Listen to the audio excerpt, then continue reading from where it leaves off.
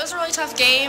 Uh, we just had to all come together defensively, and it was just more of a team thing, and we just shut them down defensively.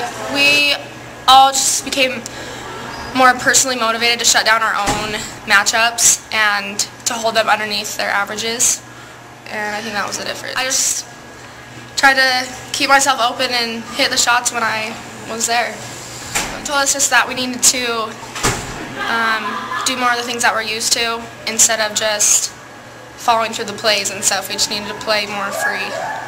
Syracuse is just a really great team, and we're just going to try and get ready the best that we can. And we're all really excited to play them. So It's nice that people look at us like we're one of the good teams, but it's just something that we need to prove. Yeah, there's always stuff we can work on, but I feel like tonight overall we did really good. Really good.